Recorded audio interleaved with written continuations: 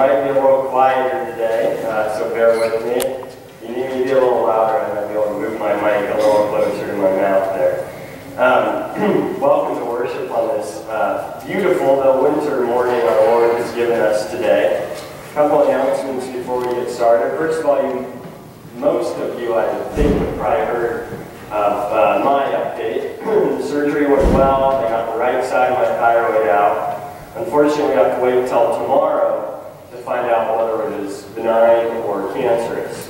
Um, if it is cancerous, um, they have to go back in, the incision they already made, take out my left side, and then I drink my little radiation drink to kill all the thyroid cells, wherever they might be in my body, and I should be good to go from then on. So the prognosis for thyroid cancer is very good, which is reassuring, uh, but we still are praying that it's just benign and that can be done already. So um, we will, if I can be so bold, will include myself in the prayers again today. Um, let's see. Flowers today are from uh, uh, Seymour's funeral and Lynn Emerson's funeral, and there are three. Uh, Bible class today, my voice is a little sore, so you might have picked up on, will be canceled today. So just enjoy the fellowship time back there after the service. Um, Advent's coming, our Christmas decorating uh, will be coming on the 30th. Earlier that week, we'll have our Thanksgiving service on the 26th. There's a note in there as well. Midweek Bible class continues this week, assuming I don't have another operation, um, but I'll let you all know that as well. And uh, Ladies Aid meets at a different time in December, so just keep that uh, in your mind there. Also, there was an announcement that All Saints Choir will be practicing today after the service. So uh, come on up and uh, and uh, join in singing uh, today after the service to sing next week. Yeah, okay. Good. Uh, in our prayers today, um, actually a prayer of thanksgiving, Jerry Choate's numbers are looking better for blood work, so we praise God for that. Um, and we also want to uh, include those who are listed there, including the families of Violet and Violet Seniors and, and and stuff. Are there any other announcements or prayer requests this morning that you have? Okay, well, I invite you to rise and greet one another with peace of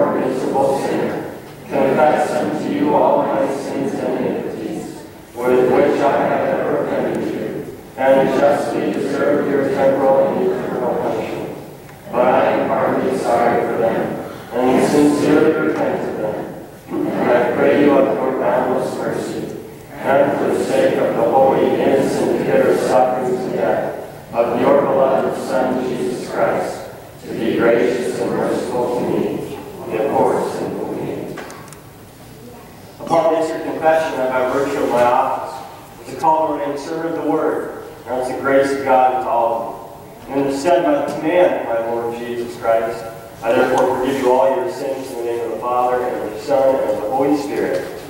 Amen. We continue with the intro account of your bulletin.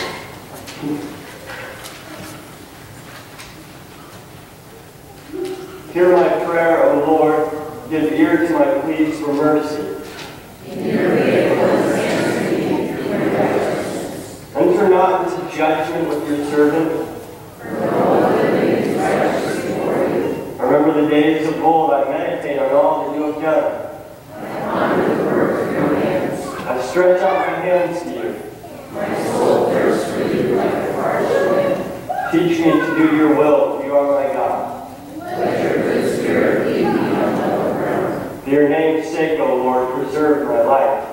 In your righteousness, bring my soul out of trouble. Glory be to the Father, and to the Son, and to the Holy Spirit. So was in the beginning. It is now, and will be forever. Amen. Hear my prayer, O Lord. Give ear to my pleas for mercy.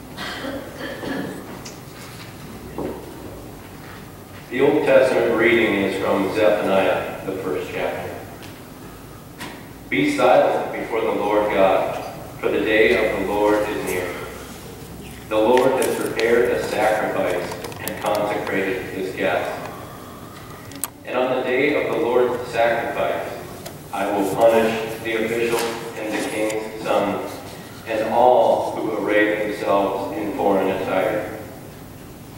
On that day I will punish everyone who leaps over the threshold, and those who fill their master's house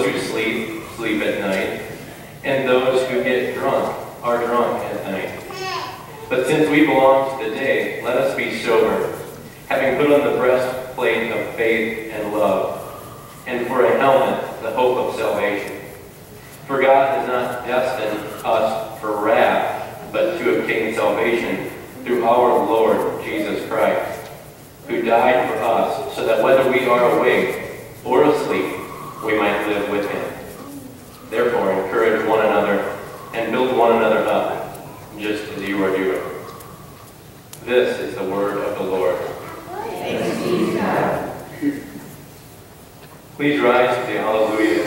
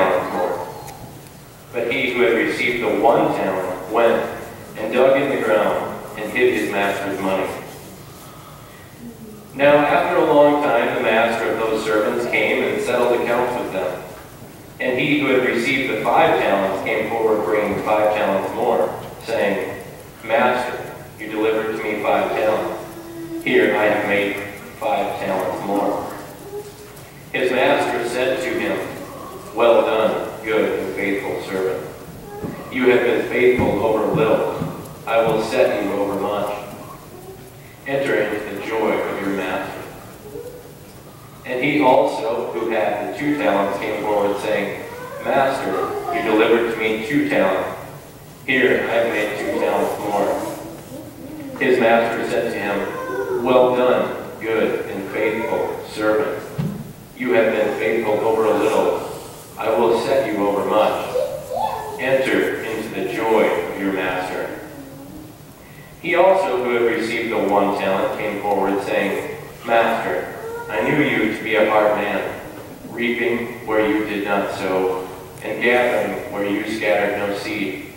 So I was afraid, and I went and hid your talent in the ground. Here, you have what is yours.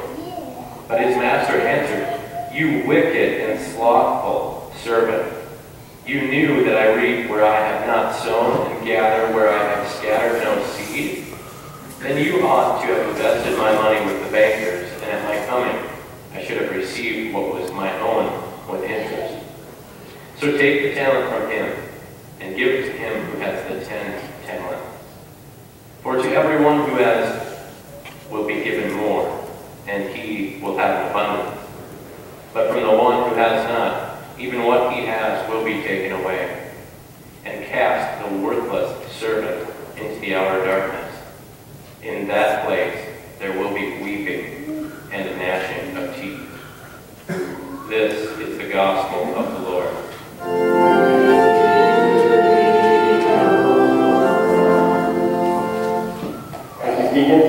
We join in confessing our faith in the words of the Nicene Creed. I believe in one God, the Father Almighty, maker of heaven and earth, and of all things visible and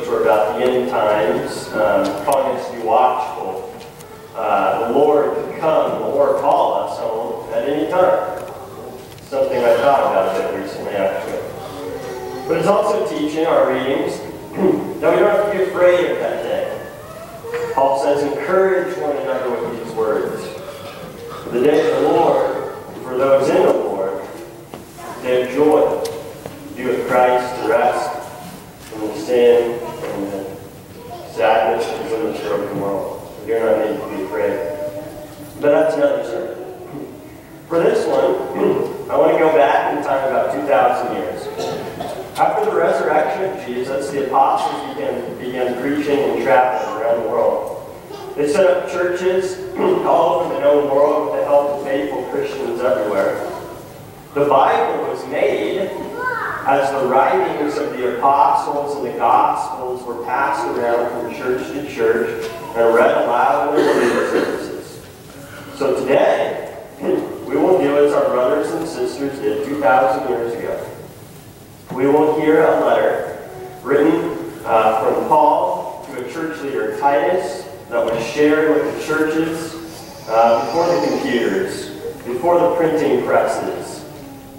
That's what we're going to do right now. We'll read a letter aloud from the Bible, so sit back, relax, and allow yourself to get caught up in the history of the church, your church. Nonetheless, Paul's letter to Titus.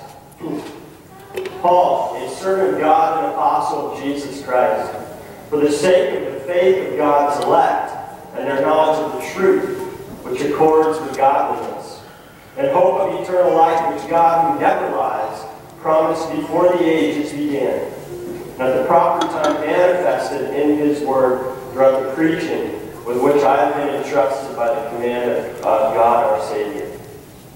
To Titus, my true child in the common faith, grace and peace from God the Father and Christ Jesus our Savior. This is why I left you in Crete, so that you might put what remained into order, and appoint elders in every town as I directed you. If anyone is above reproach, the husband of one wife, and his children are believers and not open to the charge of debauchery or insubordination. For an overseer, as God's steward, must be above reproach.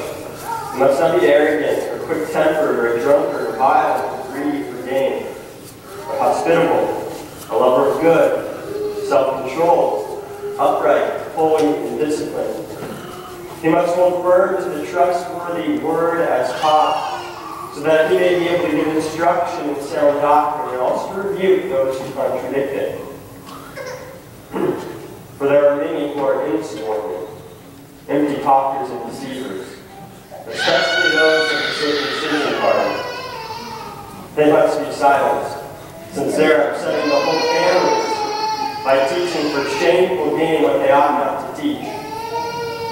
One of the Cretans, a prophet of their own, said, Cretans are always liars, evil beasts, lazy gluttons. This testimony is true, therefore rebuke them sharply, they may be sound in faith, not devoting themselves to Jewish myths and the commands of the people who turn away from the truth. To the pure, all things are pure, but to the defiled and unbelieving, nothing is pure. But both their minds and their consciences are defiled. They profess to know God, but they deny Him by their works. They are detestable, disobedient, unfit for the good work.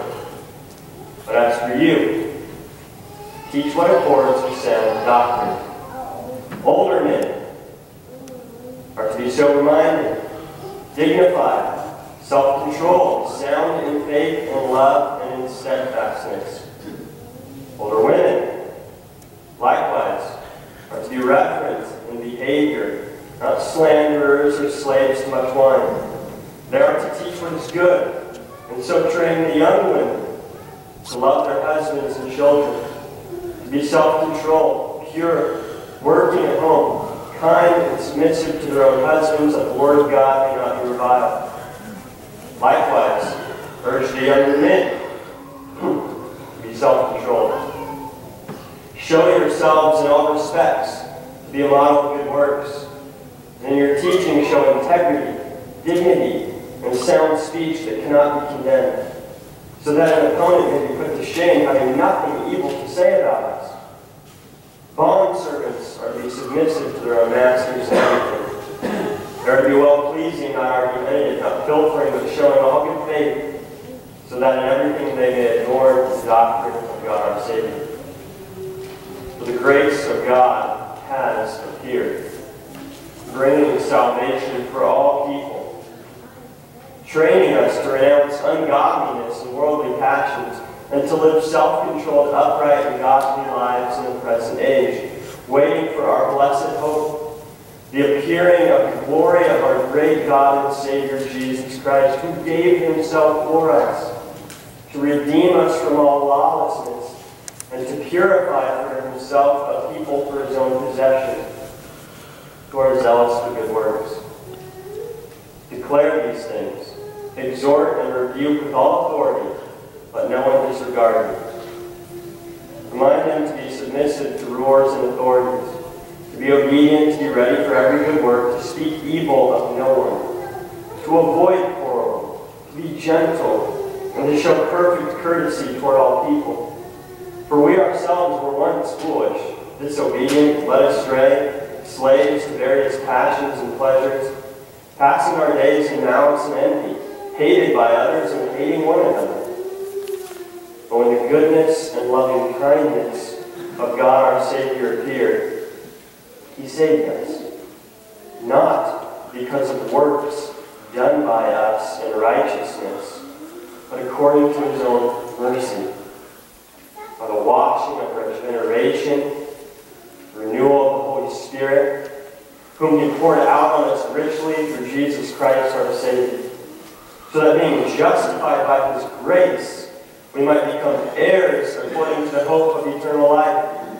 The saying is trustworthy.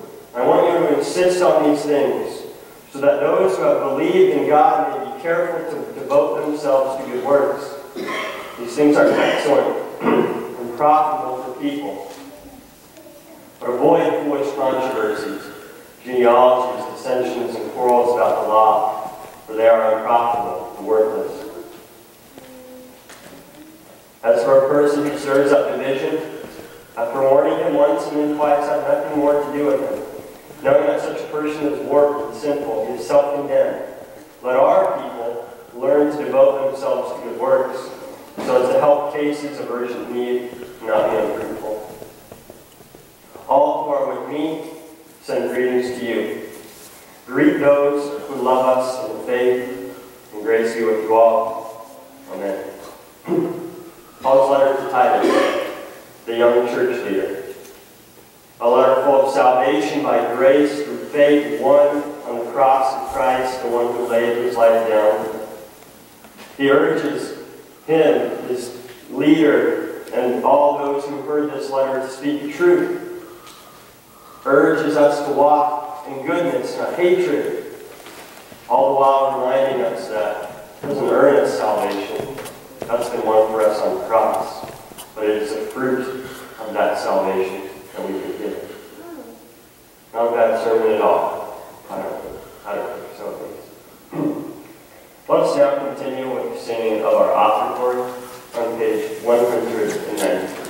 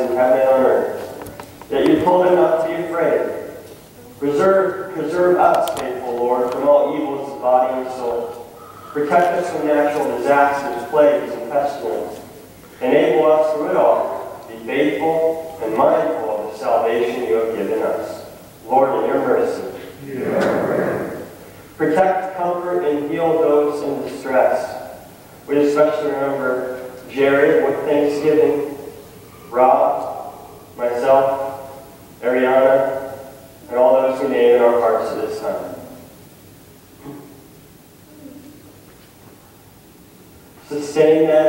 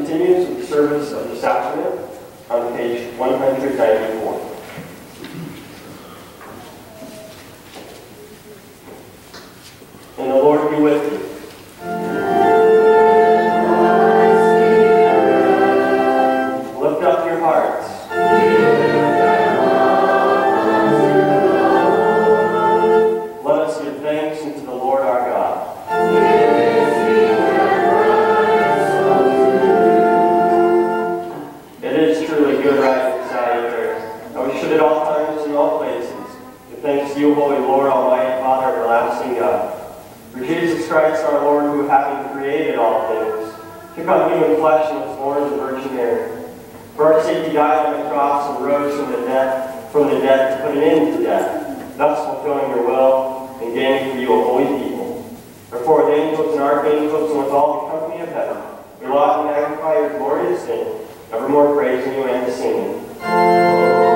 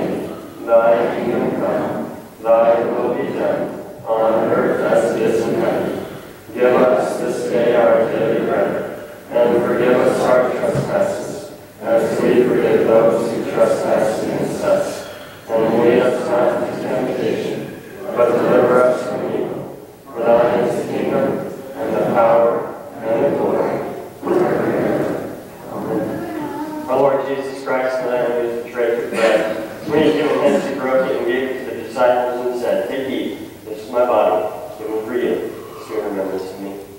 Then we also took the cup after supper, when he had given thanks, he gave it to them, saying, Drink of it, all of you. This cup is the New Testament in my blood, poured out for you, for the forgiveness of sins. See what is offered to drink of it, in remembrance of me. And the peace of the Lord be with you all.